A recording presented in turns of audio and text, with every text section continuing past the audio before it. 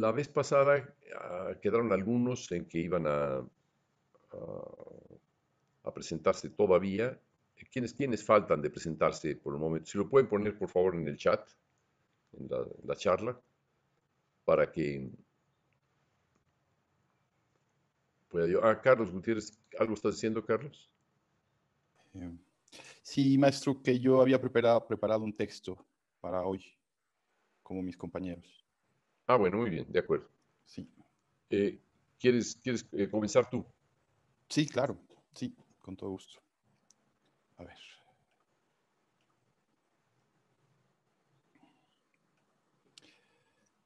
Bueno, el texto titula ¿Cómo creo lo que creo?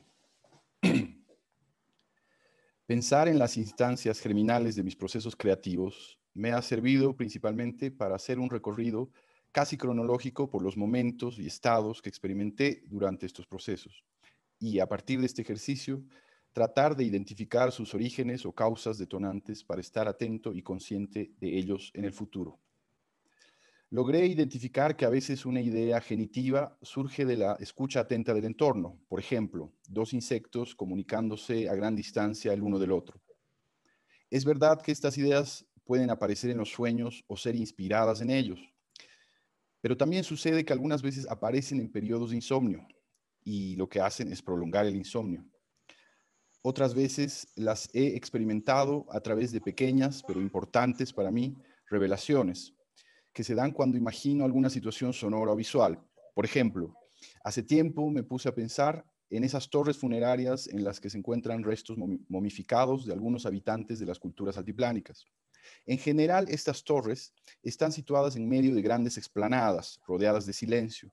Imaginé o traté de imaginar la música que podrían hacer estos seres cuando nadie los escucha. Creo que seguir, o mejor dicho, dejar ser estos impulsos es más complicado. Requiere una actitud muy receptiva, pero también muchas veces de gran audacia y honestidad por sobre todo.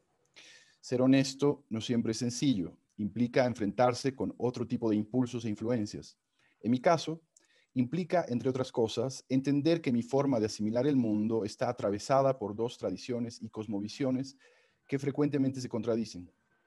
Implica darse cuenta que mi, que mi entorno no suena, ni huele, ni se ve como Londres o Colonia o Vancouver. Y en lugar de renegar de ello, enamorarse de la singularidad y las posibilidades que esta situación me brinda. Aceptar y enamorarme del hecho de que mi padre, cuando yo era niño, ponía cumbia en la radio muy temprano todas las mañanas. Yo despertaba con esa música y la rechacé por muchos años. Ahora me gusta bailar o sentir la pulsación del baile al momento de crear música. Como un maestro alguna vez me dijo, crear con honestidad es parecido a estar desnudo frente a ti y frente a otros. Aceptar y amar lo que ves. Por otro lado, algunas de las herramientas que también me han servido para acompañar estas pulsiones las he adquirido a través de la observación. Observar, por ejemplo, cómo aprende un niño a hablar, cómo construye una casa un albañil, cómo se organizan y relacionan los animales con el espacio, cómo teje una tejedora aymara o cómo crecen raíces en algunos vegetales que se quedaron olvidados en una canasta de cocina. Finalmente, comparto un par de citas de las conversaciones de Paul Cézanne que, a su vez, un amigo compartió conmigo y que me remiten fuertemente a estos procesos y también a los objetivos de la Cremus. Inicio la cita. Teórico, ciertamente se lo debe ser, para entrar en posesión de uno mismo y llevar a buen puerto su labor, pero hay que serlo de las sensaciones y no solamente de los medios. La sensación exige que los medios sean constantemente transformados, recreados, para expresarla en su intensidad. Y la otra cita, para pintar bien un paisaje, debo descubrir ante todo las bases geológicas. Piense que la historia del mundo data del día en que dos átomos se encontraron, en que dos torbellinos, dos danzas químicas se combinaron. Esos grandes arcoíris, esos prismas cósmicos, ese amanecer de nosotros mismos por encima de la nada.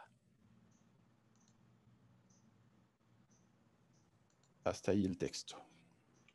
Eh, bien, estás hablando de una forma muy especulativa acerca de aspectos culturales, eh, también acerca de tu, de tu, vínculo con dichos aspectos, pero poco de, eh, de ti mismo, de tu escucha, de, tu proceso eh, hasta llegar a crear una obra. De esa parte, ¿no? comienzas hablando de aspectos criminales, ¿no?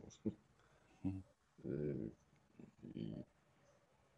me imagino que por destruir lo que pudiera ser de la tradición o lo que pudiera ser de, de las ideas que tú mismo puedas generar o no.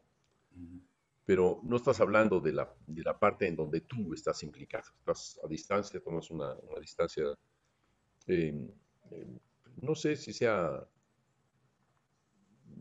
culta o si sea estratégica. Es decir, la distancia es, sí, yo estoy en relación con la cultura, pero al mismo tiempo eh, esa relación me protege, me, me, blinda respecto de estar conmigo mismo. Aquí importa mucho el acceso a la... Ah, no tengo aquí cámara, perdón. Aquí importa mucho el acceso a la a lo personal, a lo, al vínculo íntimo, privado que se tiene con el proceso, con el proceso de crear. Entonces yo te, diría que entraras más en eso, qué es lo que te pasa cuando vas a crear, en qué piensas, eh, cómo vienen las ideas, ah, si son imágenes visuales, si son imágenes sonoras, si son, en fin, todo ese conjunto de aspectos que nos están hablando de la, de la recepción interior de, de aquello que va a convertirse en la obra. Entonces aquí no, no, veo, no veo un vínculo directo, es más bien indirecto, es, de rebote eh, con, la, con la obra. Si estás hablando de cuestiones culturales, parecería más bien un juego de pelota prehispánico, eh, donde mandas la pelota para afuera, el otro, el otro es la cultura, la recibes, la vuelves a mandar sin demasiado, sin demasiado meterte en ello. Eh, esa, esa parte para mí eh, la considero estratégica, la considero autorreservante para permitirte, no sé, el, que, que, el proceso este no sea, no sea conocido por otros o, o que sea conocido solamente por ti, pero aquí lo que interesa es conocerlo, es analizarlo, es estudiarlo y que sirva para todos y cada uno de nosotros. Es, exponerse a la observación de los demás, porque lo que estamos viendo es eso, es cómo las pulsiones, los pensamientos, etcétera, llevan a la creación. ¿De acuerdo? De acuerdo, de acuerdo. Este, una consulta o una reflexión eh, al respecto. Em, ¿no, son, ¿No es acaso esta intimidad o esta, esta primigeneidad, digamos, al crear, también de alguna manera resultado de, pues, del contexto de, pues, en el que hemos sido, no sé, criados, en el que hemos vivido? Sin duda, sin duda, sin duda. Pero en donde ocurre es en, uno, en el, ser, en, quien te habita. Es el que recibe, es el que entiende, es el que va a transformar, es el que va a proponer. Y todo lo que estás haciendo no hay ninguna proposición. Te estás quedando a, distancia. Eso casi, casi caracterizaría tu, participación. La primera ocasión en la que estuviste aquí, hablaste de la cultura aymara, de cómo se dejaba la flauta para que la sonara el río, o se dejaba la flauta en la noche para que el viento la sonara. Pero pareciera que es el contexto el que va a sonarlo todo, el que va a hacer el trabajo, el que va a proceder, y no el sujeto. Ese, ese aspecto, el aspecto íntimo, subjetivo, eminentemente privado, es el que interesa aquí. Eh, hablar de cuestiones culturales aquí puede ser, sin duda, en eso estamos, pero no son las que nos van a conducir a examinar el proceso de cada uno. Eso es lo que yo quiero aquí. Ver cómo cada quien procede en su proceso creativo. Eso es lo que, lo que interesa. Eh, puedes tener quizá tus reservas, hasta dónde hablar de ello. Yo diría, más vale no, no tenerlas demasiado cuando uno quiere estudiar creación musical o creación en general. Más bien dejarlo al descubierto, desvelarlo y examinarlo junto con otros en presencia de otros. Una de las características de la Cremus es que hemos hecho durante los últimos 25 años el examen individual del imaginario. Si alguien se recuesta en una mesa, comienza a exponer de forma inconsciente, más que consciente, fantasías que le vienen al instante y a partir de ahí, después de un proceso de estar inventando sobre la marcha, casi de pensar en blanco, ocurre eh, toda una historia que el conjunto de miembros de la Cremus eh, ha escuchado, ha, observado, y al final de dicha, de dicha sesión, digamos, una sesión privada que dura 40 a 50 minutos, todos participan en convertir aquello que fue narrado por alguien en una cierta música, en cómo suena. Quien narró pide que si tal cosa que había descrito tenía tal carácter, se convierta de inmediato a sonido o a ritmo. Ese es el proceso. Ese es el proceso y ese es el, interés que, tiene, digamos, esta, este conjunto de cuestiones sobre cómo creo lo que creo. Una, una de las ideas que tuvimos en esta, este fin de semana pasado fue la de invitar a los miembros de los distintos consejos que tiene Pilacremus, que es la revista que nos representa a nivel de ideas, a nivel de realizaciones, a nivel de cuestiones, a nivel de contactos, de vínculos con otros eh, investigadores, creadores. Eh, básicamente lo que hacemos aquí es investigar, crear o crear, investigar. Eh, y una de las preguntas que nos hacíamos era, ¿habrá que mencionarles a todos los estudiantes todas las ideas que se nos ocurren aquí, habrá que decirles esto sí y esto también y esto también, es decir, ofrecer una baraja o dejar a cada quien solo el vendaje. O que lo discutamos aquí eh, de forma colectiva para entender hacia dónde va cada quien. Y este es el caso. Lo vamos a, ir viendo de manera colectiva y vamos a ir avanzando en ello a lo largo del semestre. Esta es la tercera de, tres, de, las tres sesiones iniciales. Y a partir ya de la siguiente semana, lo que comenzaremos a ver son los productos, es decir, cómo van avanzando los productos de cada quien. Eso es lo que me interesa más. Bueno, bien. Gracias, maestro. No, de nada, de nada. Me puedes llamar Julio más que maestro, prefiero Julio. Ok, Julio, gracias. De nada, bien. Eh, ¿Quién más no, no expuso eh, hasta ahora? Eh, escuchando la... Ah, Eric Nava, muy bien. ¿Puedes poner tu cámara, por favor? Ah, claro. Sí, es cierto, Eric, tú todavía no estabas integrado. Bien. Yo llevo a cabo dos procesos para crear. El primero lo ocupo cuando quiero expresar una situación en la que se involucran emociones. Un poquito, más lento, un poquito más lento y más claro, porque no se oye claramente, ¿sí? Yo llevo a cabo dos procesos para crear. El primero lo ocupo cuando quiero expresar una situación en la que se involucran emociones, ya sea este, el estar feliz, enojado, triste, etc. Este proceso es esporádico, pues se lleva a cabo mientras me encuentro en, esa situación. Se crean los sonidos que salen en en el momento, en el orden y la duración estos son específicos a cómo pasar. El segundo lo ocupo cuando quiero representar algún objeto o situación en la que yo esté en algún lugar específico. Esto surge de la idea espontánea de ¿y si yo fuera?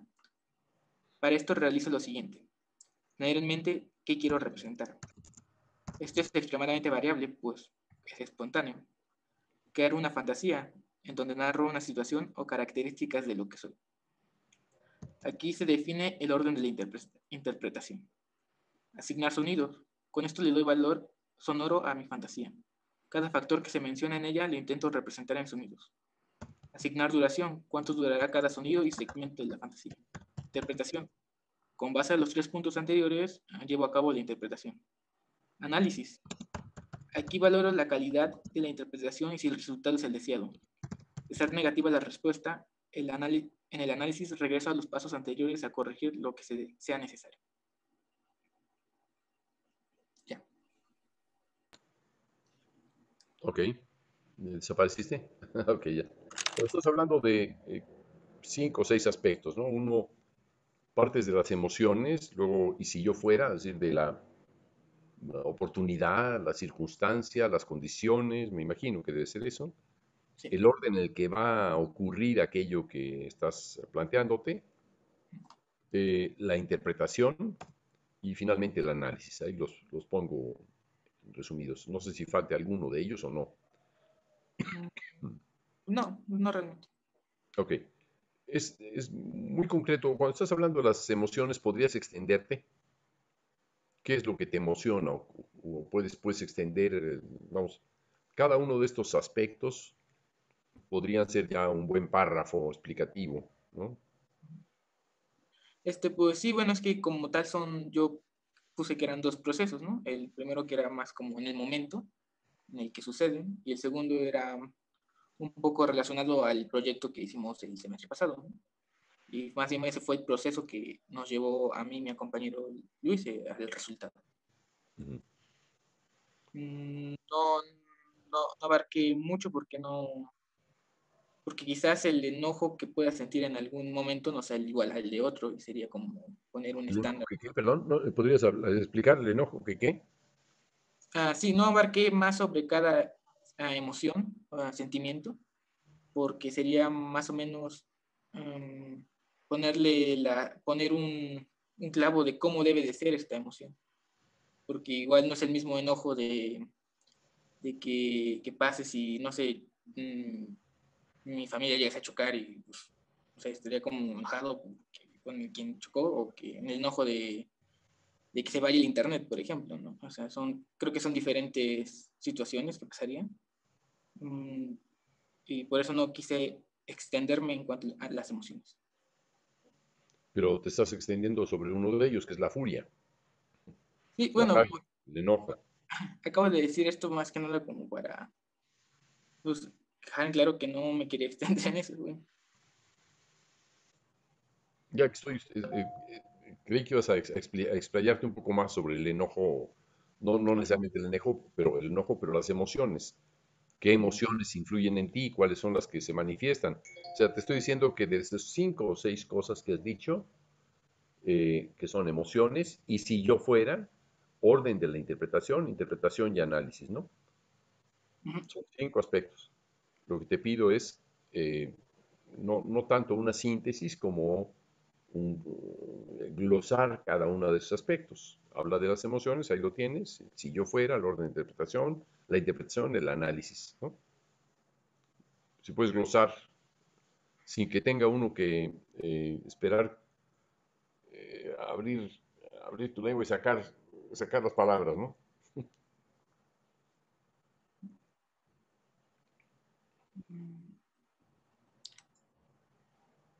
Bueno, es que no estoy, no estoy entendiendo bien a qué quiere que ahorita especifique, no, como que me, no estoy entendiendo. Ya, ah, muy bien. Mira, de las cosas que has hablado, has hablado de emociones. Sí. Eh, y si yo fuera, es una pregunta que me gustaría escuchar un poco más amplificada, igual que las emociones. El orden que le vas a dar a aquello que vas a construir. Ah, Luego, la interpretación. ¿Cómo? Que desglose cada punto del orden. Sí.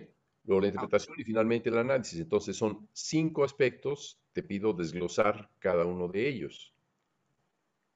Que sea más, eh, más claro, que haya más información, que,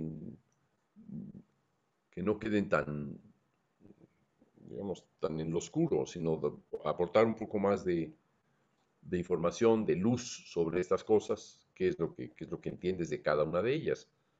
¿Por qué eh, partes de las emociones? Es una, una pregunta pertinente ¿por qué inmediatamente a estas está el y si yo fuera? ¿Qué, es lo que quieres decir además con y si yo fuera? Todo lo demás es constructivo, el orden de la interpretación, la interpretación y el análisis. Eh, esa parte que es el, aquello que echa a andar el proyecto es la que eh, quiero, quiero conocer mejor. Es que son como tal dos procesos. El primero es de las emociones, es más que nada como esporádico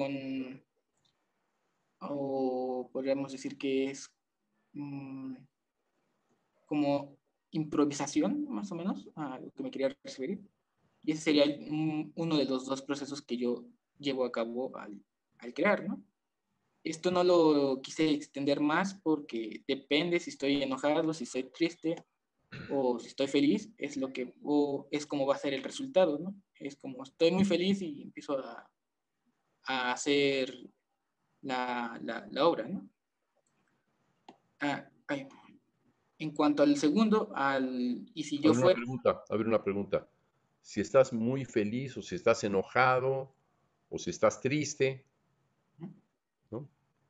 eh, ¿qué influencia tienen en, ti? ¿Hasta, ¿Hasta qué punto esa influencia es eh, eh, importante? ¿En qué, ¿En qué aspecto? ¿Qué es lo que provoca? ¿Qué es lo que produce? Mm, este, pues más, más bien el, el, efecto que, el efecto que va a tener la obra, ¿no? Si yo estoy triste, pues voy a hacer algo que, que tenga un aspecto de tristeza que, que transmita esa emoción o que, me, o que al, al oyente se le, le puedas dar esa sensación, ¿no? O si lo hago para mí mismo, este, recordar ese momento tras escuchar o, o leer la obra que, que se crea en ese momento.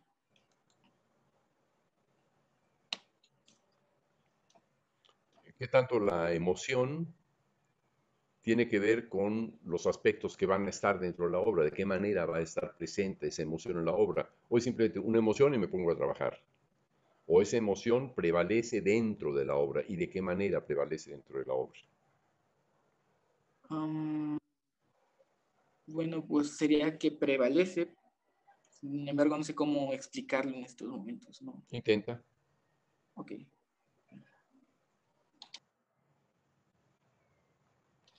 Este, bueno, un ejemplo, quizás no sea el mejor, es mm, si yo estoy contento, feliz, alegre, eh, los sonidos van a ser pues, más brillantes, ¿no? Más que intenten representar esa alegría, que sea como que un lugar que te haga sentir bien, es a lo que me refiero. Va a prevalecer durante la obra y van a tener características de pues, estar feliz, ¿no? Es algo a lo que me refiero.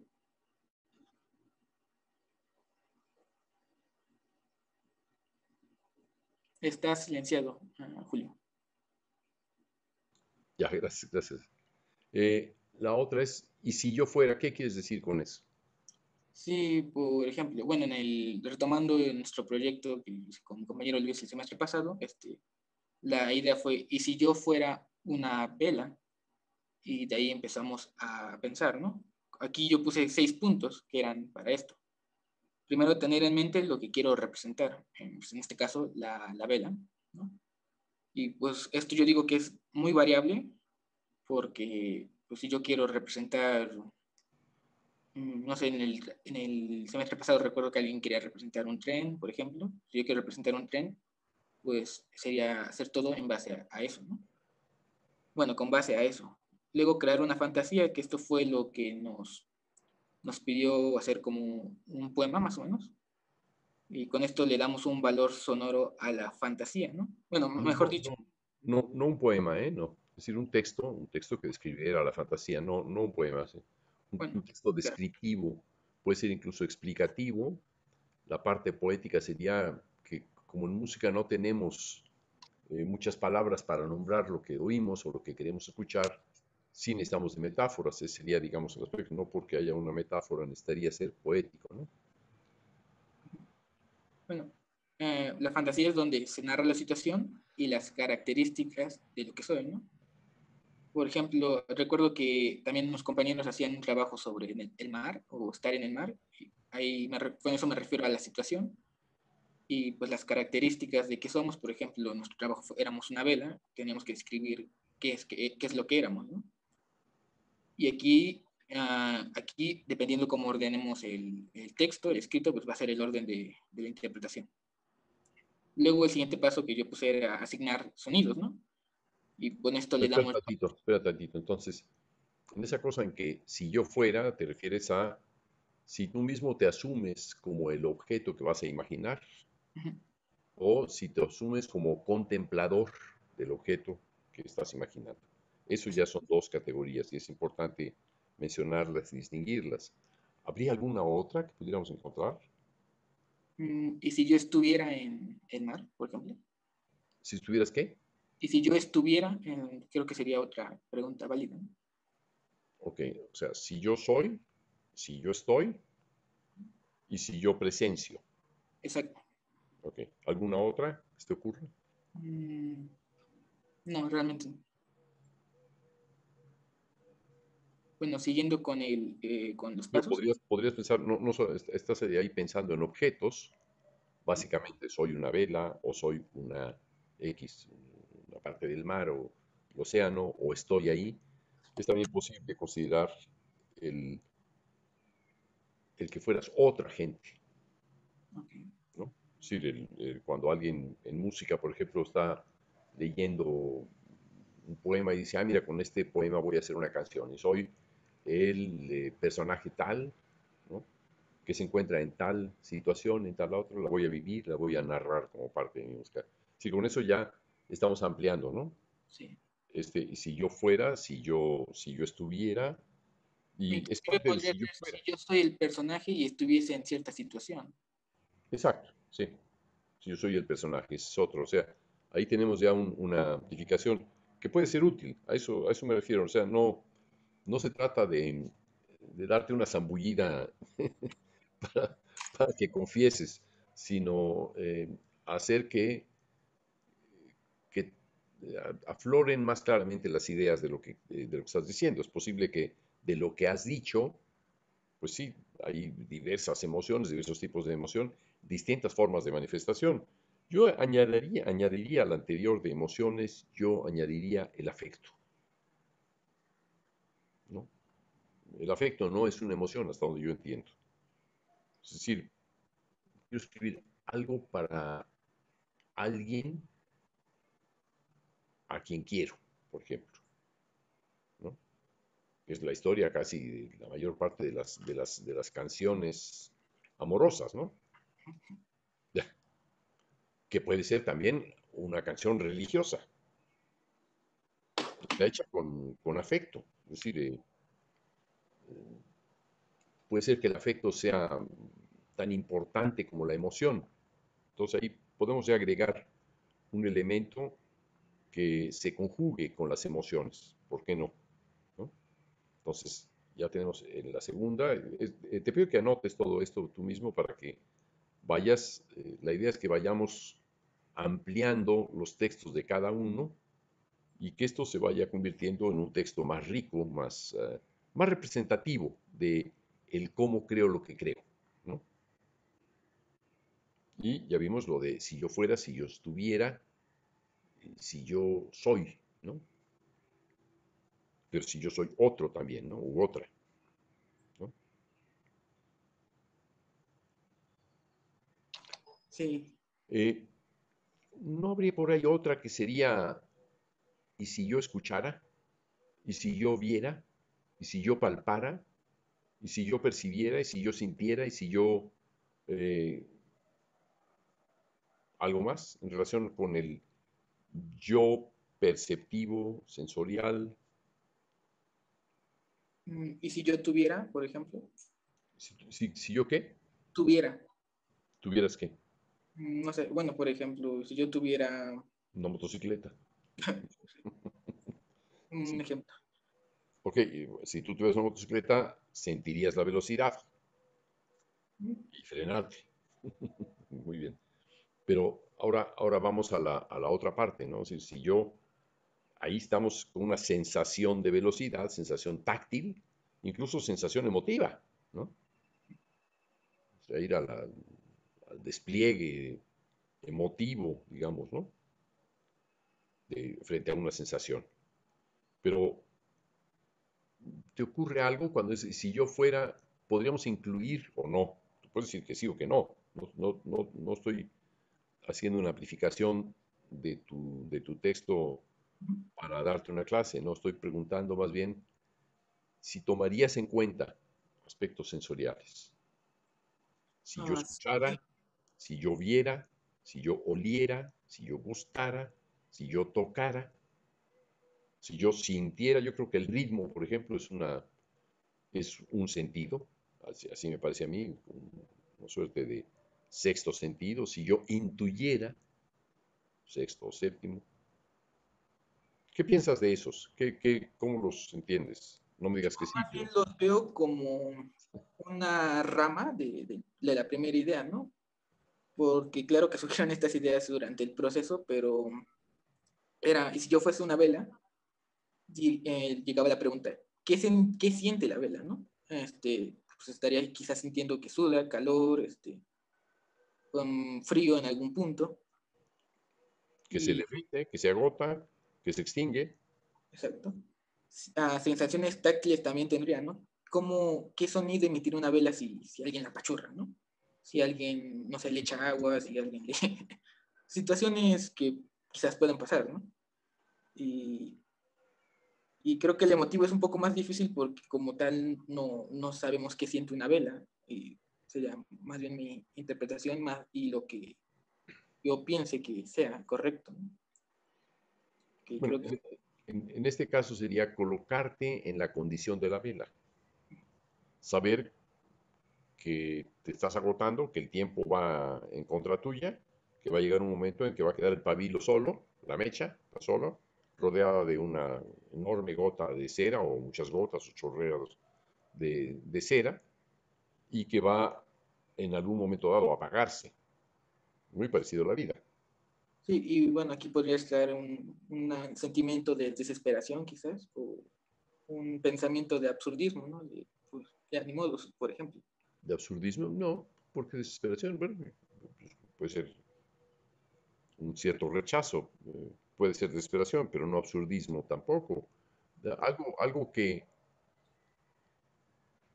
podría podría preguntarse es si integrarías, por ejemplo, los colores del, fuego mismo, el color que va adquiriendo la vela, eh, pasando por, un, una, continuidad entre el azul y el amarillo, entre el azul y el rojo, entre el rojo y el amarillo, ¿no? Están ahí los colores primarios, entonces, desde el punto de vista visual hay mucha información, o sea, podría eso, digamos, el adentrarnos en esa fantasía podría darnos elementos eh, útiles para explorar esos aspectos de la propia fantasía. O sea, antes de entrar, eh, yo, diría que lo que tú estás haciendo es emociones, ya, rápido. Si yo fuera, rápido. Y donde te detienes un poquito más es el orden de interpretación. Es a ver, ¿con qué? ¿Cómo? ¿Cómo, cómo lo voy a hacer? O sea, parecía que estás más preocupado de cómo le hago que qué es esto. que vivir el qué es esto. ¿no? O sea, la idea de rendir cuentas de inmediato. Ya, ya está, ya está, ya tengo, ya tengo la solución, ya la voy a escribir, tengo la partitura, ya enseguida eh, lo registro y esto ya es una obra. Esa es, una, parte que parecería eh, contar mucho, ¿no? Desde el punto de vista en el que eh, haces muy rápidamente al lado eh, profundizar en las emociones, profundizar en el si yo fuera, en el percibirte.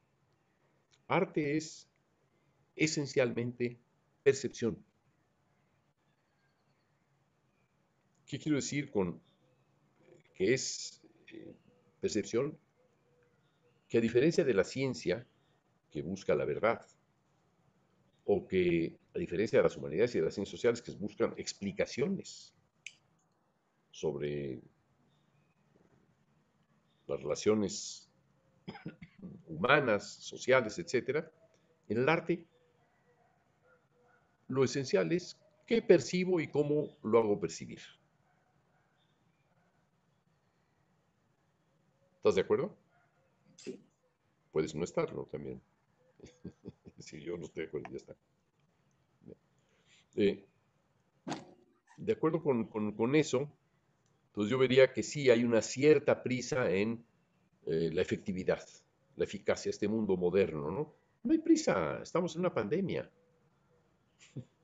desgraciadamente, pero eh, oportunidad también para adentrarse en uno mismo y explorar este proceso. Esto es parte también de la pandemia o de las consecuencias de la pandemia. Adentrarnos en nuestro propio proceso. Acabas de hablar hace un momento de desesperación, de lo que le pasa a la vela. La, vela no, no sé si le pase gran cosa a ella, pero tú lo ves con desesperación, no le va a pasar algo. Es parte también de ese, de ese pensamiento de autoprotección, ¿no? de defensa, frente a la eventualidad, frente a la amenaza, frente a la dificultad. ¿no? Toda la, la siguiente parte,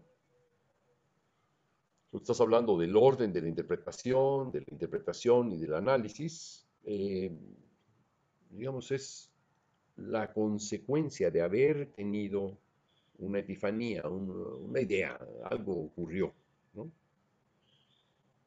Y esta epifanía puede ser emoción, puede ser colocarte en alguna situación, condición, estar, ser, observar.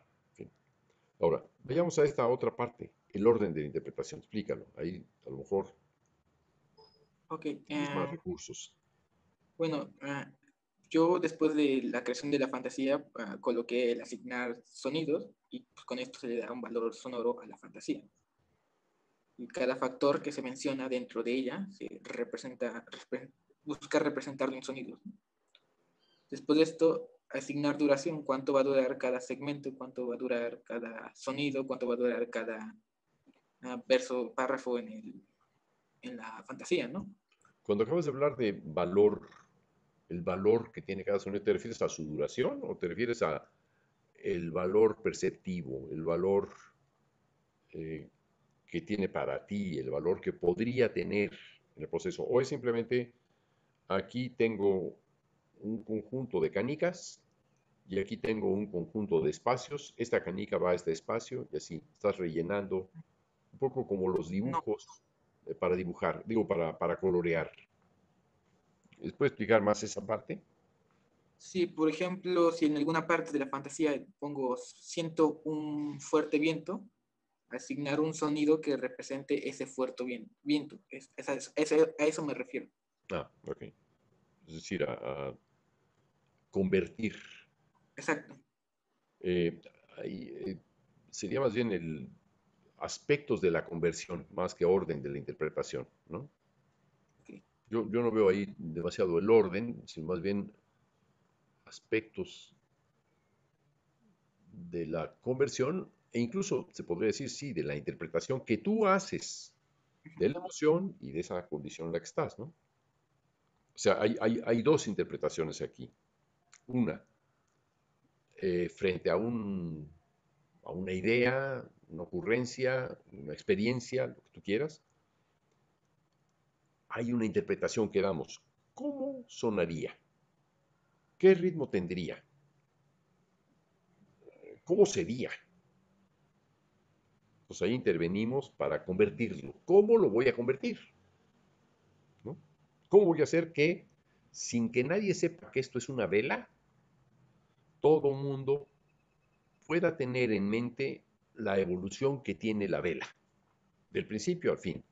Desde que recuerdo que eh, se, encendía con un cerillo, alguna cosa así, y venía su evolución, ¿no? ¿cómo voy a hacer esto para transmitirlo?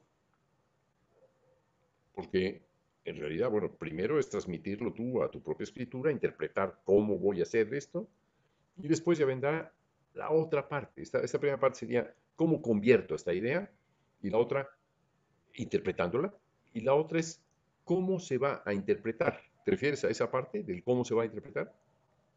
Este, bueno, cómo se va a interpretar sería eh, el asignar sonidos, el esta conversión, y la duración de cuánto va a durar cada... Ah, ah, eso, eso acababa yo de decir que era, esa era la conversión. Exacto. la interpretación es, es cómo interpreto yo que, que esta vela pueda convertirse en una cierta música.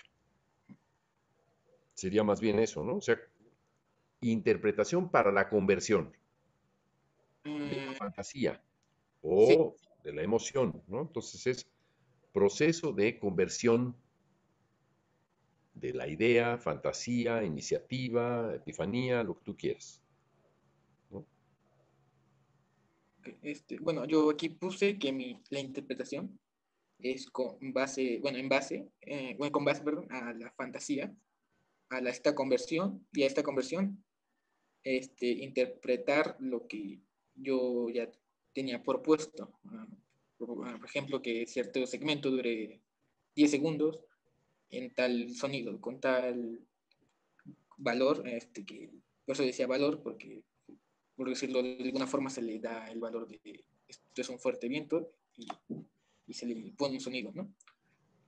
Es más que eso, y pues, como usted dice, cómo hacer que la gente perciba una, una vela, pese a no tener en claro que es una vela. Bueno, yo creo que ahí la idea es eh, asignaciones más que otra cosa, ¿no? Es decir, son cómo asigno estas ideas. O sea, ¿qué asignaciones les doy a todas estas ideas? Eso es lo que le voy a asignar a la vela a la cera tal cosa, le voy a asignar al fuego tal cosa, le voy a asignar al calor mismo tal cosa, ¿no? Bueno, no, eso, eso, eso yo lo coloqué en la parte de la conversión, el asignarle a, tal cosa eh, la duración, el sonido, y la interpretación es ya llevar a cabo ese, todo ese proceso. Es decir, ejecutarlo, ejecución. Eh, hacer una interpretación eh, mediante la ejecución. Si hay, eh, digamos que si encontramos los términos más claros, emociones y afecto, ya, ya lo amplificamos. Y si yo fuera, es ser, estar o imaginarse estar también, ser, estar o imaginar algo, ¿no? Imaginarse en alguna condición o imaginar a alguien en alguna condición. Ah, sí, bueno, sería muy, en grosso modo, este sí sería eso. Este, y ya la última parte sería el análisis.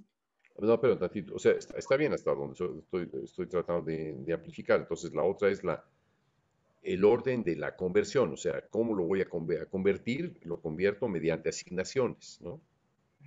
¿Cómo son esas asignaciones? Explica un poco más. Como ya había dicho, asignar al sonido. Por ejemplo, si yo dentro de la fantasía escribo siento un fuerte viento, asignar un sonido a al fuerte viento, ¿no? estando desde una posición de que yo lo siento o que el, viento ah, me está dando, por ejemplo. Y asignar la duración, durante cuánto tiempo voy a ejecutar ese sonido. E, esto para ti sería, digamos, la partitura. Mm, sí. Las instrucciones, más o menos. ¿Las qué? Por decirlo de, alguna forma, las instrucciones de, para, la ejecución. Mm, ok, ah, actualmente en la, música contemporánea a veces las, instructores son, las instrucciones son más largas que las partituras. Está lleno de instrucciones de esto se debe ejecutar así, con tal acento aquí, con tal forma acá. Si revisas partituras de todo el siglo XX y XXI, lo que se dedica a las instrucciones es eh, muy amplio. ¿Por qué? Porque se está revolucionando, digamos, el arte musical, porque se requiere explicar cada nueva iniciativa, porque a veces uno adhiere a iniciativas ya existentes y quiere uno señalar esa identificación con lo que ya eh, existe, de manera que no quede duda, ¿no? Que lo que quiero aquí es un viento, pero no es un viento cualquiera, es un viento que hay que hacer de esta manera y de esta otra, ¿no? Y si estoy diciendo que hay que soplar de esta manera, esto se parecería a tal manera de soplar en tal obra de tal autor, por ejemplo, o tal corriente, o es la manera en la que yo pido que se sople. Exacto. ¿No? Eso me refiero a lo de eh, asignar sonidos y duración. Con eso me refiero. Exacto. muy bien.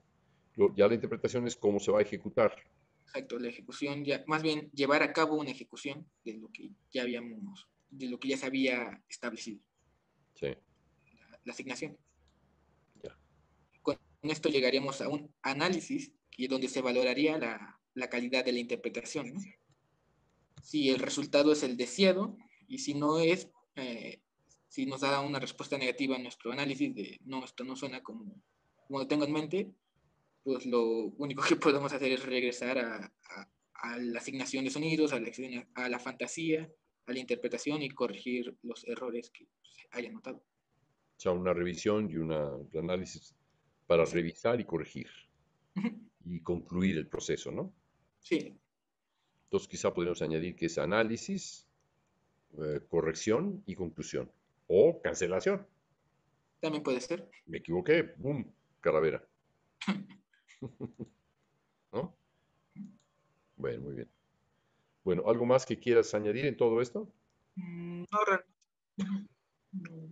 Bueno, también cabe decir que quizás para mí este es mi proceso creativo, quizás para alguien más sea un poco más extenso y bueno, es un poco sintético como yo lo puse, pero por supuesto, como habíamos mencionado, en la fantasía de y si yo fuera, quizás surjan 20 preguntas más de si yo y si me estuviese dando y si me estuviese me estuviese dando el viento, si me estuviese quemando, si me estuviese eh, cayendo agua, por ejemplo. Poner más o menos todos los escenarios posibles y que yo quiero que estén dentro de la obra. Es más como una aclaración en ese punto. Muy bien, muy bien. Bueno, muy bien, Eric. Muchas gracias. ¿En qué te habría sido útil esta, esta parte del seminario? Si acaso te fue útil, quisiera que lo explicaras un poco ampliamente. Digo ampliamente porque tu micrófono, Eric. Mm, ok, pues ¿en qué me ha servido esta parte? Pues evidentemente a pues, tener más razonamiento sobre qué quiero hacer yo en una obra o en una composición. Este, no seguir como que una teoría de tiene que subir quinta, quinta, cuarta, dos inversiones y así, ¿no? Este, Sino de yo quiero que de repente la obra sea más, más viva, más alegre, más, o más triste o más lenta, ¿no? Ah, no irme por una fórmula y irme más por lo que yo quiero hacer que por lo que sea convencional. Creo que es lo que me ha servido. Igual como este aspecto de crear en vez de componer, este, yo creo que es diferente, muy, muy diferente. igual me ha servido muy, muy a fondo, muy, muy fuerte. Eh, me ha servido bastante. Ah, bueno, me da gusto oír eso. Eh, lo que lo que yo intentaría con todo esto, es decir, el, eh, profundizar un poco más, aunque a veces sienten que le estoy quitando pulgas y dicen, ya déjame, ¿no? es en, tratar de, adquirir mayor conciencia de este proceso. ¿Por qué?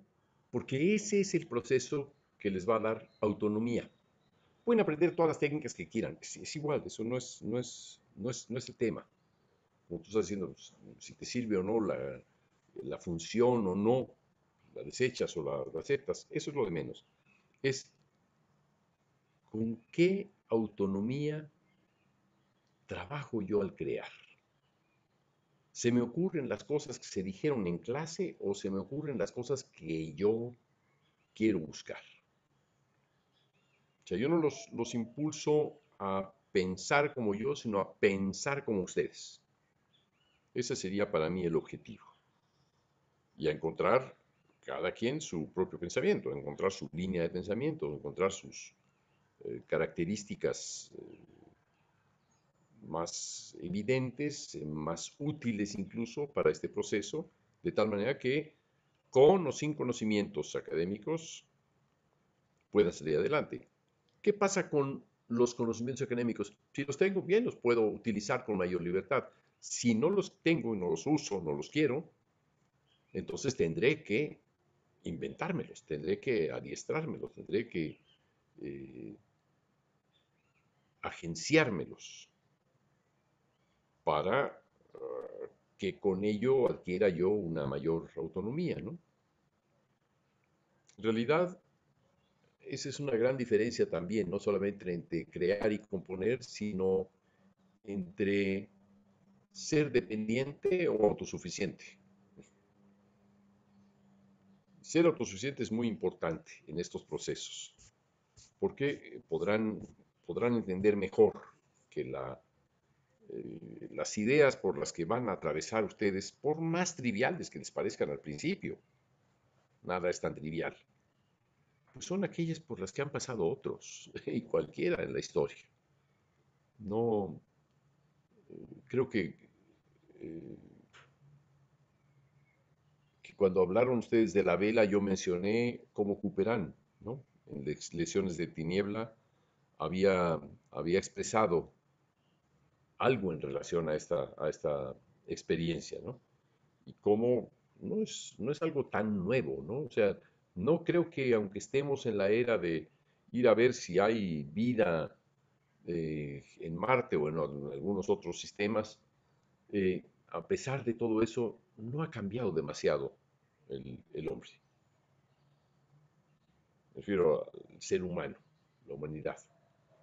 Y en, los recursos con los que contamos o los recursos con los que contamos son muy parecidos. La manera en la que imaginamos, los medios son distintos pero el modo de imaginar, el modo, de acceder al conocimiento, el modo de, utilizar el conocimiento puede cambiar de acuerdo con los recursos que tiene cada época.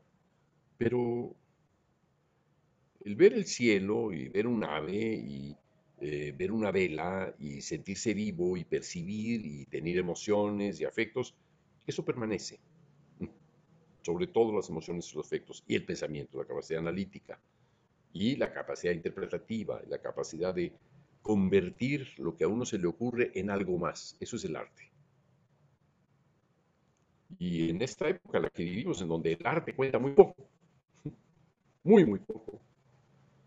Decir, tenemos los artistas que están defendiendo nuestro territorio dentro de las universidades en las que tenemos muy poco tiempo, una historia muy corta, muy breve, y que y que a todas luces se va a convertir en una historia mucho más prolongada, necesitamos hacer un mayor esfuerzo para ser mejor entendidos, para ser un, núcleo mucho más autónomo, mucho más fuerte, con mayores recursos, con mayor autonomía, tal como nuestra universidad y tal como lo pide la adquisición del conocimiento, crear un nuevo conocimiento, a través de ello podemos alcanzar o podamos alcanzar un nuevo modo de entender colectivamente el arte e individualmente.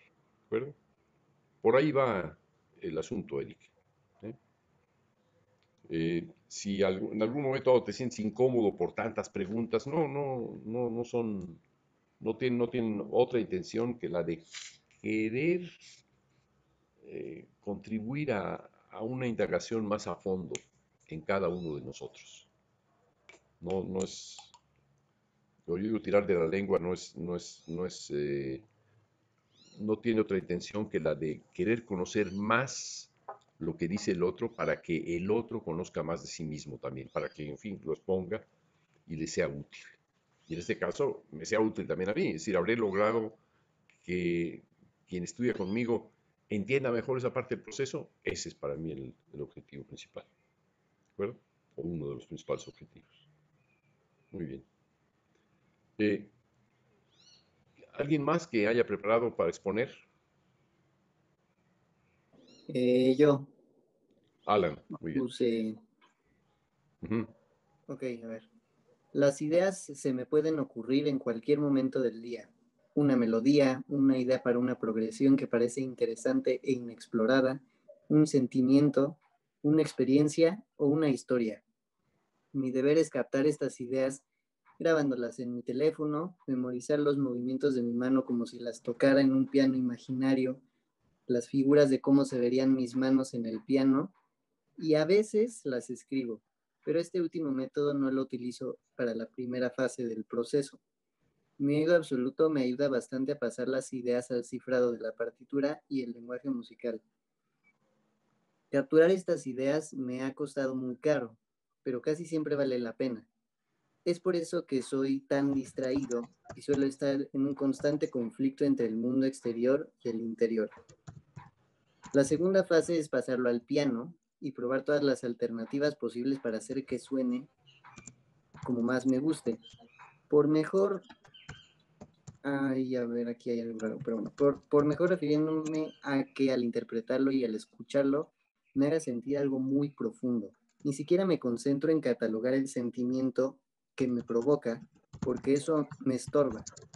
Lo que me, importe, lo que me importa es que me cause algo muy profundo en el estómago, en el corazón y en la mente.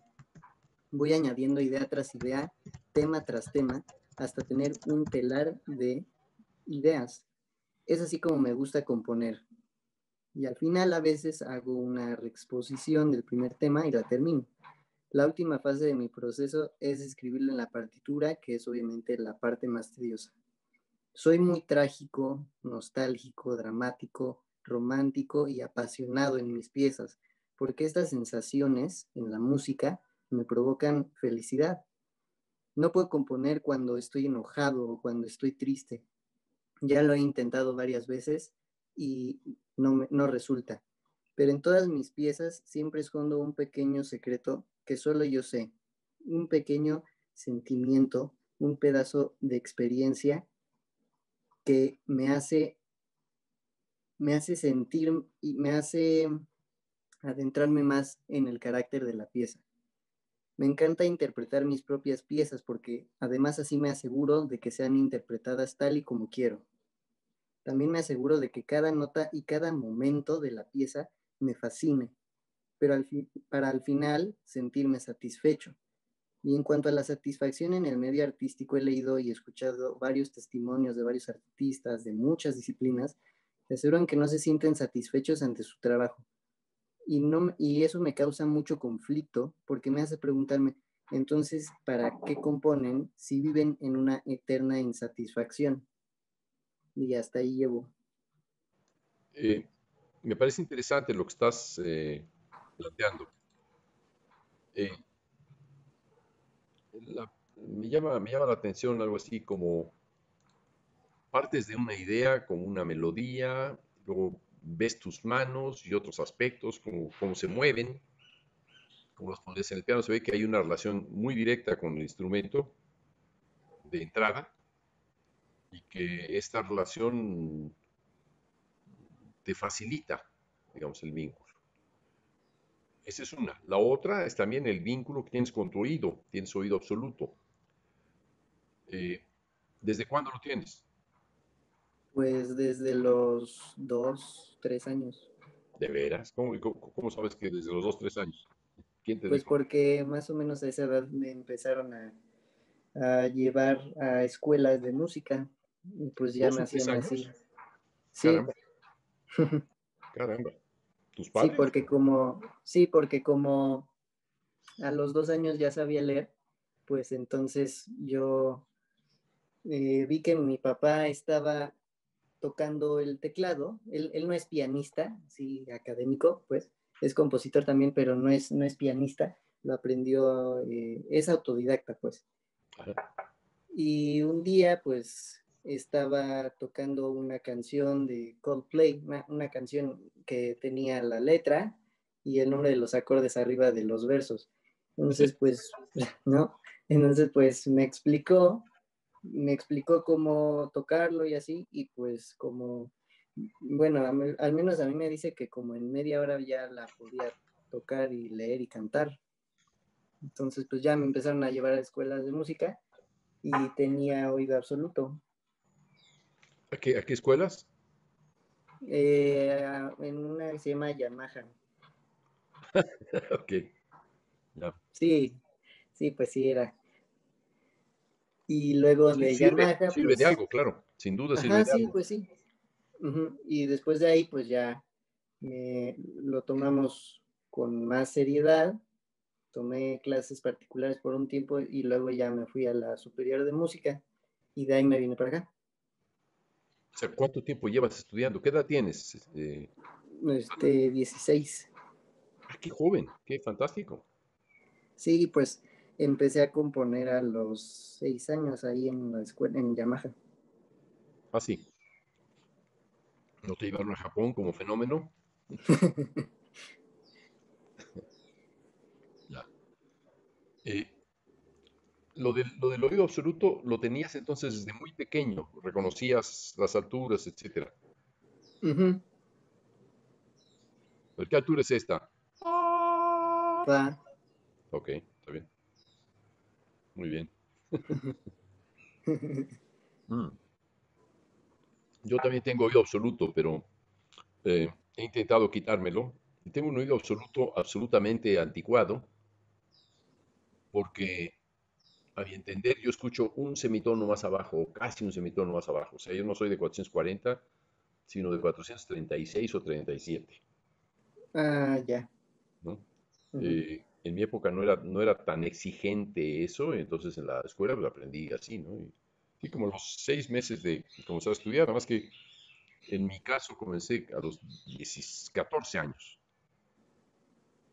Y sí tenía oído absoluto y es un factor a veces genético. En, en, mi casa creo que hay, hay muchos eh, miembros de la casa que tienen, que tienen oído absoluto, mis, eh, mis hijos, mi esposa también y, mis padres ah, tenían también una línea de oído absoluto. Seguramente que eh, por la línea de tu padre o tu madre puede haber gente que tenga oído absoluto, ¿no?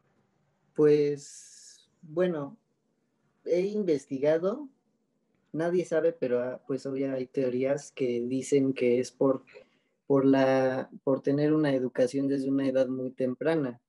Pero pues no, sé, porque yo soy el único de mi familia que tiene oído absoluto ya. Bueno, quizá no lo, no lo han despertado. Eh, había un estudio, el maestro Pablo Silva, eh, que está en el Centro de Música Electrónica de la facultad, alguna vez me, compartió una encuesta sobre el oído eh, absoluto porque buscaban los factores genéticos en este, ¿no? yo digo que no es absoluto porque escucharíamos en el continuo absolutamente todos y cada uno de los, eh, eh, de los distintos microtonos existentes y son infinitos. Son infinitos.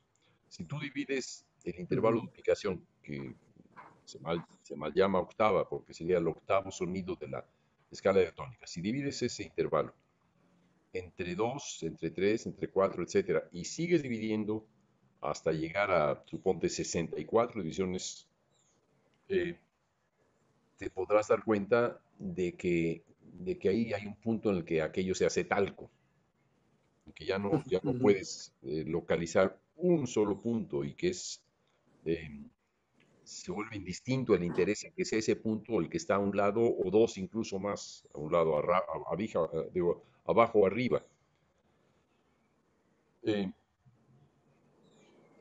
digamos que trabajando con, equipos electrónicos, digitales, sí, quizás te das más cuenta de eso. Eh, estar fuera de la escritura también. Eh, ocurre, por ejemplo, que tiene un oído absoluto que no utiliza el instrumento, ya sabe de memoria eh, todo, lo que, todo lo que está produciendo. Y sin embargo, por ejemplo, no siempre es posible escuchar todas las alturas que hay en un acorde de, por ejemplo, de más de 5 o 6 alturas. Bueno, yo he visto gente que sí puede, yo la verdad no, yo alcanzo como hasta 5, exactamente como 5 notas y, y cinco alturas, las notas son las que están escritas.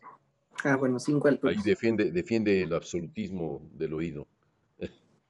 ok. Eh, el, la parte absoluta del, oído es, muy importante, es muy útil, pero es al mismo tiempo muy estorbosa. ¿no?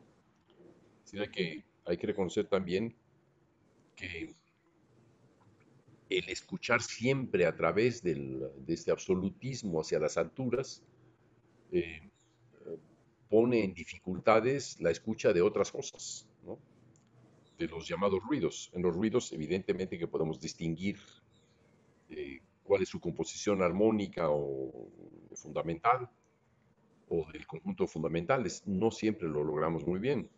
De ahí que la palabra ruido no haya cambiado desde que existe la noción de, oído absoluto. Es, una, noción, muy, muy vaga, ¿no? Eh, muy difusa eh, y además muy de un pensamiento casi imperial, ¿no? yo creo que surgió en épocas en las que había eso, grandes imperios, es así, este tiene el oído absoluto, es el emperador de las orejas, ¿no? Y, es, tiene, tiene, un poco de esa, esa, esa connotación, cuando en realidad eh, pues es un, es, un, es un gran don, es un gran don sin duda, que te da también autonomía, pero que también te hace depender de ese don en la medida en la que eh, solamente estás pensando así. Doy un ejemplo en el año 81, por ahí, eh, me pidió Senakis que fuera yo profesor de un grupo de, de chicos, unos de ellos eran invidentes y otros del Conservatorio de París. Los invidentes tenían oído absoluto, la mayoría lo habían desarrollado, y tenían mucha mayor sensibilidad para dibujar en un espacio continuo. La computadora que creó Senakis es la UPIC. Eh, era una mesa de dibujo. Piensen, por ejemplo, en esta pantalla que estamos viendo, y eh, donde a ser un dibujo en el sentido del tiempo, de izquierda a derecha, permitía crear, por ejemplo, el deslizamiento hacia el agudo, etcétera, O la inversa, etcétera. Bien. los alumnos del conservatorio que tenían todos, el Conservatorio de París, que es casi una condición para estar en composición, Conservatorio de París tenían todos oído absoluto y eran los más torpes, porque para dibujar libremente en el espacio siempre preguntaban, ¿dónde está el La? ¿Dónde está el La, por favor? Dígame, a ver, ¿cuál es el La, por favor? No, no, quiero saber dónde está el La. Entonces tenían que una, una, una, reglita para, para, para guiarse, porque si no estaban perdidos. Y en realidad lo que era muy interesante de ese sistema, de una mesa de dibujo, era la libertad que había para poder dibujar. Sí, bueno, a mí no me pasa eso. ¿Qué? De eso de así, de que necesito a fuerzas como una referencia o algo así. Pues la verdad es que me interesó mucho el experimento. ¿Qué experimento? Ah, pues el que, lo de Xenakis que me acabas de decir. Ah, ok. Bueno, eh, esa, ese equipo ya desapareció, el equipo original y eso. Intenté hacer un equipo en tres dimensiones, dibujar en tres dimensiones. La vertical sería la frecuencia, la profundidad sería la amplitud, la intensidad, y la lateralidad sería el color, de oscuro a claro o viceversa. Eh, entonces podía hacer un dibujo en tres dimensiones con todos estos atributos al mismo tiempo, muy interesante. actualmente está trabajando, creo que no está todavía muy bien lograda, en la UPIC Sketch. Eh, les voy a mandar con, con iniciar los datos para acceder a UPIC Sketch, para que puedan explorar con ella, que funciona hasta en un móvil.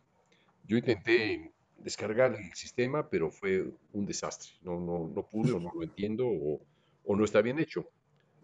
Eh, en fin, la gente que lo desarrolló era alguien que estudiaba en el centro de Senakis y que en algún momento fue alumno mío, ¿no? Eh, Rodolfo Burot. Eh, pero bueno, eso respecto al absolutismo. Ahí sí el oído absoluto cuando uno se encuentra con un equipo como ese, donde el continuo es de una altísima resolución, por resolución quiero decir que puedes poner 10.000 puntos por intervalo de duplicación, reconocer exactamente cuál es cada uno de esos puntos es algo más que utópico, ¿no? Ahora, yendo a la descripción que haces, que he puesto aquí para todos, hablaste de idea como melodía, de, tu idea de partir de la, de la melodía me parece interesante. Eh, ¿Por qué me parece interesante la melodía?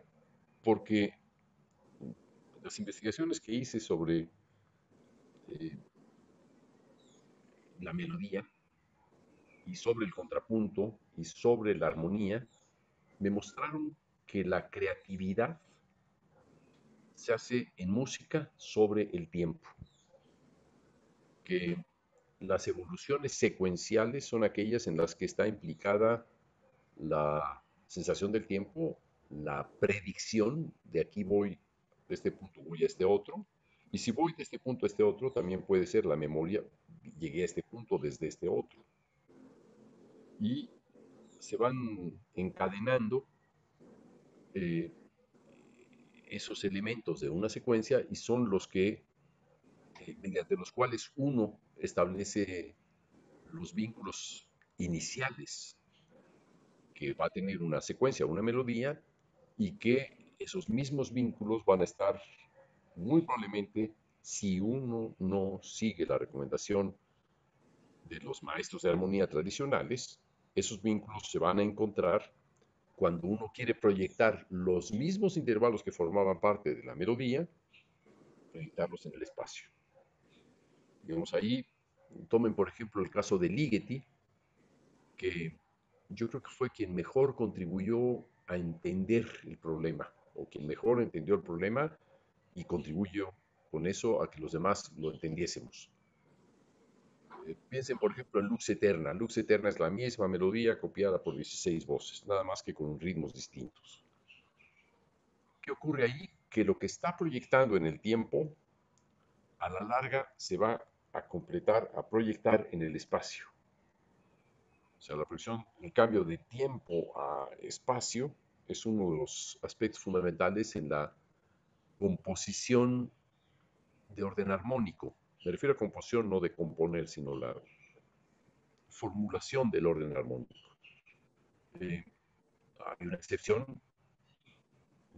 en, Eterna de Ligeti, que es un acorde eh, en el grave con re sostenido, fa sostenido, la sostenido, que no estaba en la melodía y que para mí era perfectamente producto más de su mente orientada a la tradición que orientada hacia la conversión en ese, en ese caso particular del tiempo en el espacio, que es lo que más le, distinguió. Eh, sobre la melodía, lo que yo recomendaría, te recomendaría es que si fuiste del punto 1 al punto 2, observes qué intervalo formaron. Si vas del punto 2 al punto 3, que observes qué intervalo formaron, y así sucesivamente. Y te darás cuenta si tienes ahí predilección por tonos, semitonos, terceras menores, mayores, cuartas, quintas, y, finalmente a partir de cuartas y quintas, todos eh, tienen su proyección a la inversa, la, cuarta uh la quinta, la tercera mayor en la sexta y así sucesivamente se llegará a la séptima mayor. Si estableces eso, podrás tener un poco un, un retrato de cómo está organizada una melodía. Y te dará información sobre tu selectividad. Quizá algunas cosas las excluyes, otras las, incluyes, las favoreces, con lo cual podrás tener una idea más clara de los vínculos que vas estableciendo en el tiempo y también de alguna, alguna razón que podría haber en el fondo, que puede ser un, vínculo de memoria, afectivo, emotivo, cultural, eh, especulativo. Puede haber muchos, muchos vínculos, pero es interesante eh, hacer un análisis. Acaba de decir ahora, eh, ¿cómo se llama? Eric Nava, acaba de hablar del análisis que él hace de lo que se realizó. Bueno, en este caso es también analizar con otros medios, teoría de redes, formando vínculos de A a B, de B a A, de B a C, de A a C, etc. ¿no? Todos estos eh, estas ligas que se van formando. Eh, ¿Entienden de lo que estoy hablando? Sí, sí, sí. Bueno, muy bien. Eh, disculpe, yo quería decir que no, que no le estaba entendiendo muy bien ¿Quién, lo que quién hablas? Soy Carlos Lira. Ah, ah, ok. Eh, ¿qué es lo que no entiendes? Ah, empezó a decir que, bueno, yo, en- bueno, empezó a decir de esta forma, ¿no? Que, que la creatividad se refleja en la melodía, en o sea, o, más bien como que, que eso pensé yo que iba a decir, pero después ya no pude como hilarlo con lo que estaba diciendo de las, mm, pues de las, de la, con lo demás que dijo después, que fue, que fue esto de, de, las, de las cosas que están siendo secuenciadas, cómo se proyectan en el espacio. Eso no, como que no estoy seguro de saber a qué se refiere. Ah, me refiero a esto. Si yo hago una melodía que hace do, re, fa, establezco una segunda mayor de do a re y una tercera menor de re a fa. Entonces digo, de la segunda mayor, do, re, pongo una flecha y digo, voy de do, re a re, fa, ese intervalo. Lo que me interesa aquí son los intervalos más que las alturas mismas. Eso me da una información mucho más eh, global eh, y más transportable que la información específica de una altura. ¿Hasta ahí entiendes? Sí, sí, sí. Está, importan, más los, importan más los intervalos que las alturas. ahora ah, ser. voy todavía. De acuerdo. Entonces ahora, cuando tenemos esta, esta historia, digamos, secuencial de haber ido de do a re y de re a fa, la pregunta es, ¿cómo armonizo? Entonces el tratado de armonía te va a decir, pues si es do, le pones do mi sol. Si es re, eh, puedes optar por re fa la, pero re fa la será eh, quintas paralelas con do sol. Entonces podrías eh,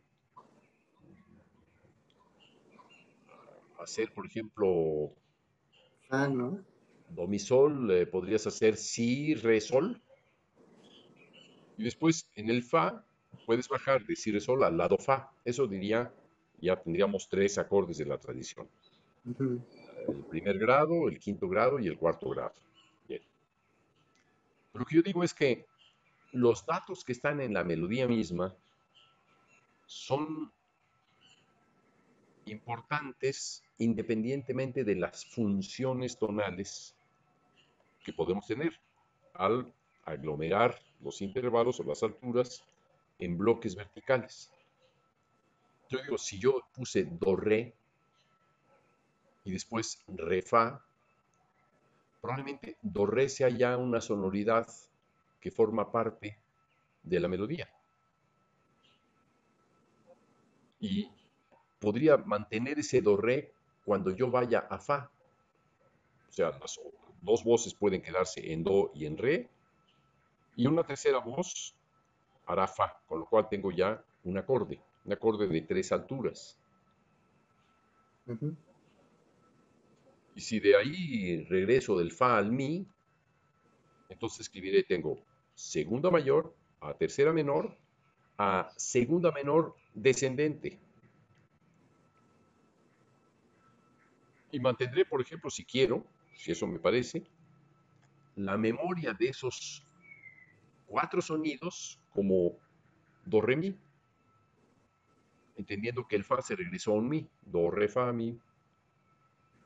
Dejo esa sonoridad do, re, mi, como si estuviera flotando en el espacio o flotando en la memoria. ¿Se entendió? Ah,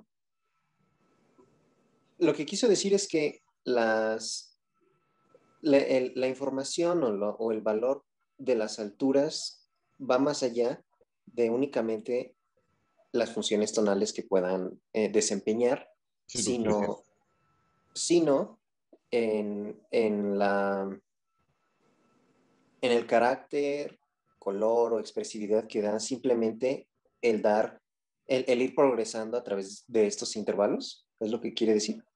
Sí, que estos intervalos contienen ya suficiente información para que me permitan o nos permitan decidir cuáles serían los intervalos verticales. Si mi intervalo horizontal fue do-re, puedo pensar que do-re puede ser también un intervalo vertical. Y no solamente como do-re, sino que podría ser como re-mi. De ahí que cuando yo hice do-re-fa-mi y sostuve do y re, agregué el fa y luego regresé al mi, me quedé con do-re-mi y tengo do y re y re y mi. Es decir, que repetí el primer intervalo a través de la cuarta operación, do, re, fa, mi. Sí, sí, sí. ¿Ok? ¿Entendiste tú, Alan Pluger? Sí, sí, entendí. Bueno. Esta, es, esta idea pueden descargar un libro mío junto, escrito junto con Jorge Gil Mendieta del Instituto de Matemáticas Aplicadas en Sistemas de la UNAM. Se llama Música y Teoría de Grupos Finitos. Está en mi página de internet. Y en las conclusiones explico cuál es la importancia que tiene la evolución secuencial sobre las evoluciones verticales. Eh,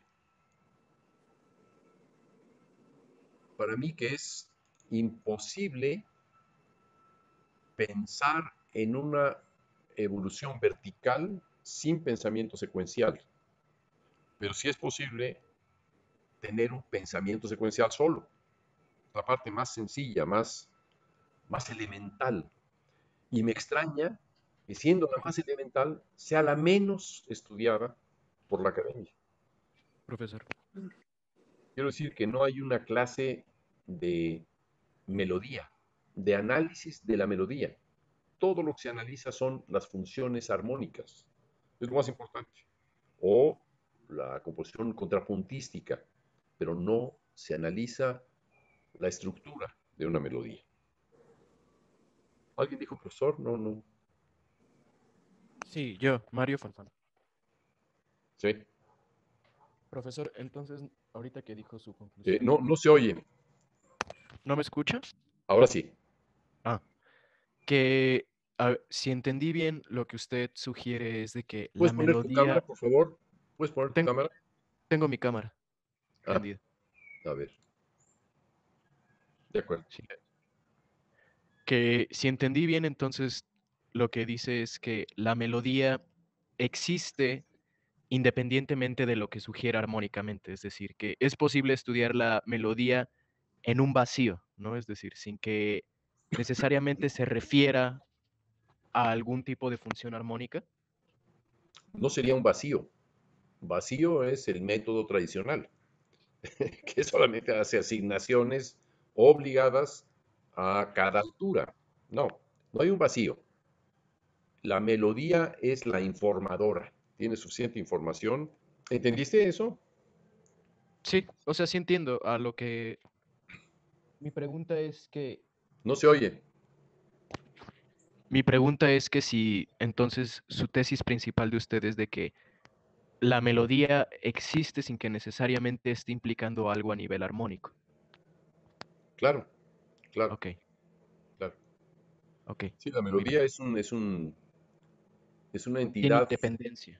in- independiente que a su vez es generadora, puede ser generadora de imitaciones, por ejemplo, yo puedo hacer la imitación de una melodía y eso es un canon o una fuga, ¿no?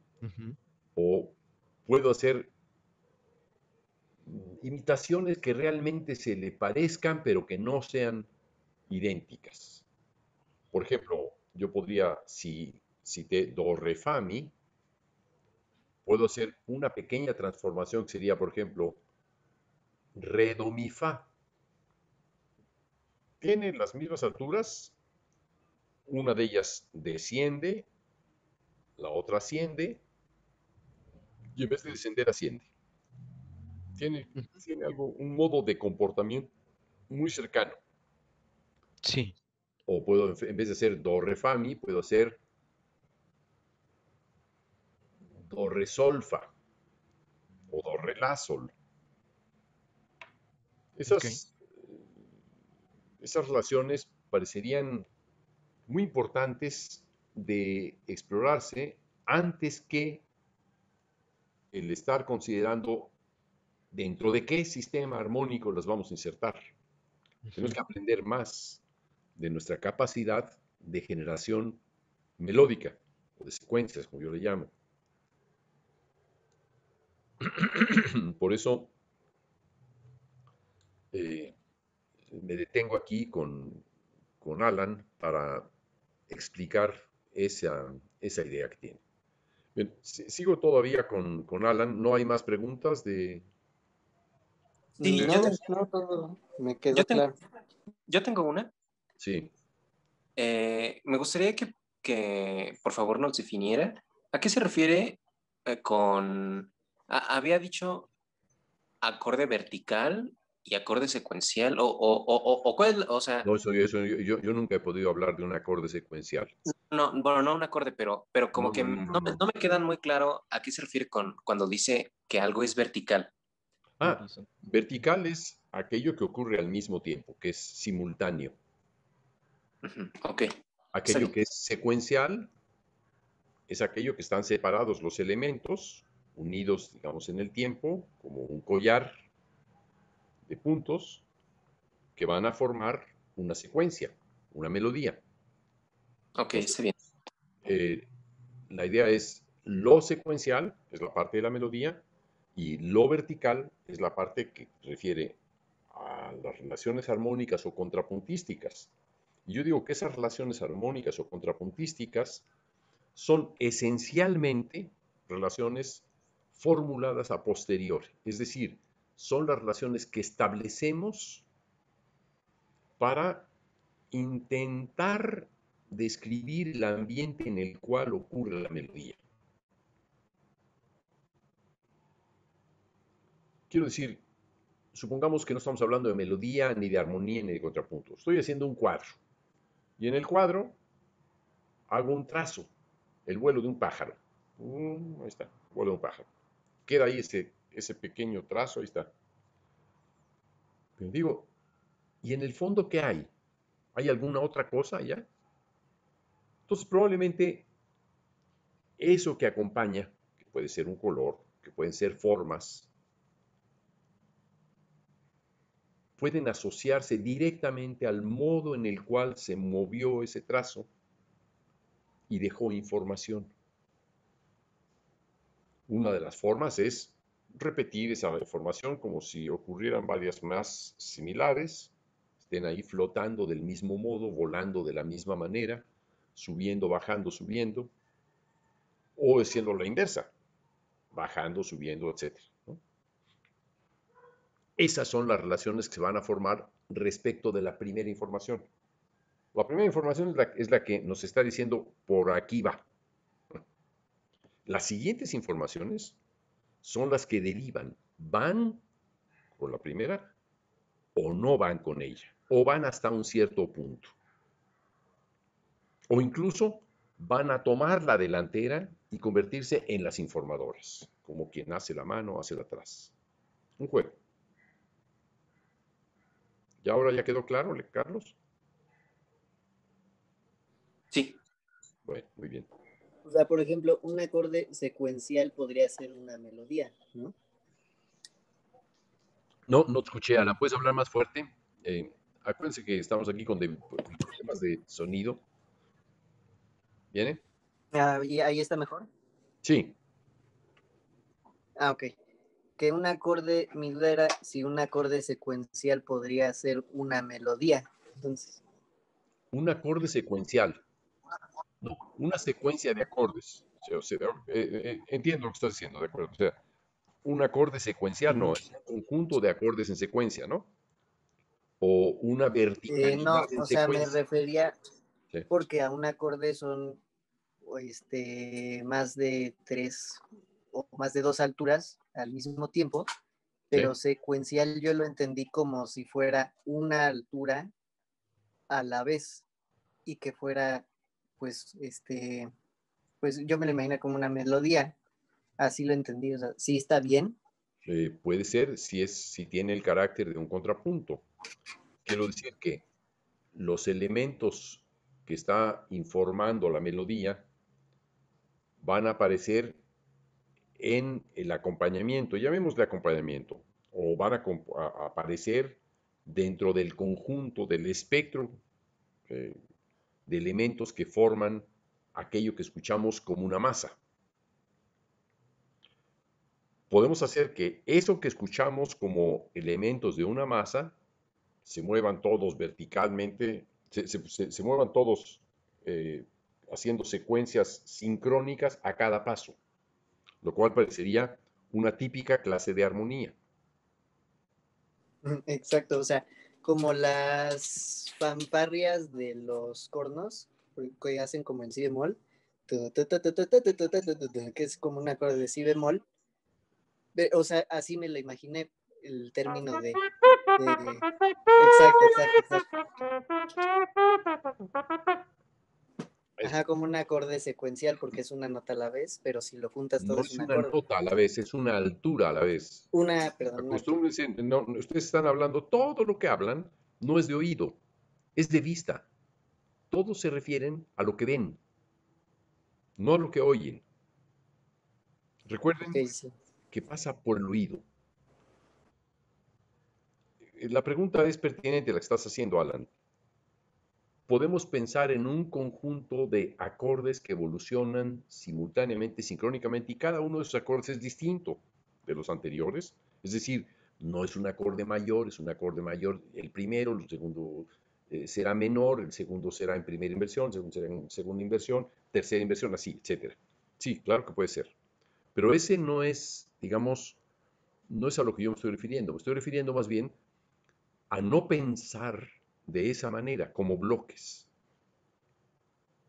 sino pensar, como acabo de decir, respecto de ejemplo de eh, Ligeti, de Lux Eterna, donde hay varias voces al mismo tiempo, pero los movimientos de cada una de esas voces no son necesariamente sincrónicos. La concepción de la sincronía es el equivalente a la concepción de la armonía en el tiempo. Sincronía es una concepción del tiempo, ordenar el tiempo. Armonía es ordenar el espacio. De lo que yo me refiero es a que si estudiamos una ordenación del tiempo y del espacio preestablecida, es una ruina para nuestra posibilidad de observar el campo completo. Si yo digo que se puede mover una voz y que junto con esa voz, no necesariamente sincrónica, haya otras voces más, podemos pensar en algo que está ahí, están ahí presentes varias voces, una, dos, tres, cuatro, las que quieran, hasta donde aguante el oído y hasta donde puedan hacerse responsable de ellas. Y entiendan qué es lo que pasa. Podemos hacer que cada una tenga su evolución lo más sensato, me parece a mí, es que juguemos primero con las relaciones que genera una sola melodía a partir de sus intervalos, con intervalos verticales derivados de lo que contiene en secuencia. ¿Qué es lo que acababa yo de decir? Si tengo do, re, fa, mi, pues tendré verticalmente do, re, o re, fa, o do, re, fa, o fa mi o do re fa mi. Todas esas aglomeraciones verticales serán el producto, una síntesis de los intervalos contenidos por la melodía y contemplados estos intervalos como eh, posibles elementos para generar el ambiente en el cual se desenvuelve esa melodía. Quiero decir, Pensemos en un barco. Un barco está sobre el agua, tiene una dirección, observamos la proa. Esa proa es la que va armando la dirección. El barco va a la izquierda, va a la derecha, va de frente, como si fuera una melodía. Si va a la izquierda, asuma que fuera, por ejemplo, un intervalo descendente, si va a la derecha, es un intervalo ascendente, como quieran. No estoy hablando de política, para que no, no piensen en analogías fatales. ¿Qué es lo que pasa atrás? Bueno, el que se mueve básicamente, el, que tiene la iniciativa es la, la- la proa. En la popa, todos son estelas que va dejando los movimientos del barco. Son esas estelas las que quedaron en el espacio. El que fue abriendo el tiempo, o la que fue abriendo el tiempo, fue el pico, la, la proa del barco. La memoria de lo que hizo el barco queda allá atrás, en la popa, o en las pompas, si quieren, del barco. Toda esa parte que queda allá atrás recibe toda la información que se genera allá adelante. Digamos que la cauda de movimientos que ha tenido el barco, digamos que es un barco que tiene mucha iniciativa, ¿eh? es, un, barco manejado o tripulado por un músico, por un creador. Si quiero jalar para acá y ahora para acá y para acá, quiero dar vueltas en redondo, quiero hacer... tal- Bueno, los remolinos que se van a formar allá atrás, esos remolinos son el ambiente resonante que generó la proa. ¿Entienden la figura? ¿Entienden el- la imagen? Ajá, como los rastros que deja el- el- en el agua. Eso. Todo eso es lo que se oye. Todo eso es lo que queda, ¿sí? Es decir, en el fondo, en nuestra memoria, cuando escuchamos una melodía, y no la escuchamos como alumnos de la academia, sino la escuchamos como seres libres, si escuchamos una melodía sola, sola, con un instrumento, con una voz, con lo que quieran, con un pájaro, lo que nos queda en la mente es esa evolución, pero nos queda también el espectro de por dónde pasó. Nos queda esa cauda, por dónde viajó esa melodía. Eso es lo que en el fondo estaría en el cuadro cuando hace esto el ave que vuela. Eso es lo que estaría, esa cauda, a eso me refiero. Esa para mí es la definición de la armonía, aquello que resuena a partir de la información contenida en aquello que la genera, no aquello que obligadamente debería de tener la resonancia, conducirla a un puerto exclusivo.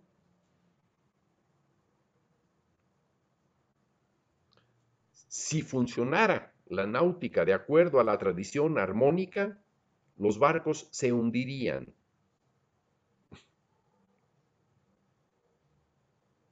Deberían de tener un conjunto de popas mecánicas muy tontas que tendrían que ajustarse a cada giro, tac, tac, pero varias, o sea, casi como, como un robot.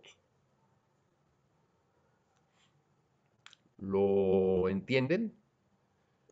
Sí, que si estamos en un espacio fluido, el agua, todavía no estamos insertados en una cuadrícula, ¿por qué pensar que hay que imaginar o pensar o construir en una cuadrícula cuando en realidad el espacio es más abierto que eso? Lo que te decía Alan de dividir el intervalo de duplicación entre 2, 3, 3, 3, etcétera, hasta miles de divisiones. Cuando llegamos a esas divisiones, al máximo de divisiones, en donde ya no sabemos qué punto es qué punto, a partir de ahí podemos comenzar a diseñar cómo se mueve esa melodía. Y al moverse, ¿qué genera?